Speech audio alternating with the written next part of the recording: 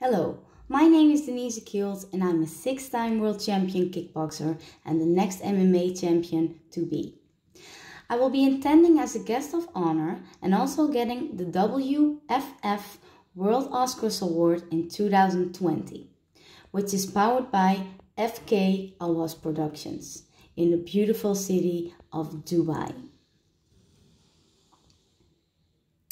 Movie screenings are for December 13 to December 15, and the World Oscars Award night is on December 18th.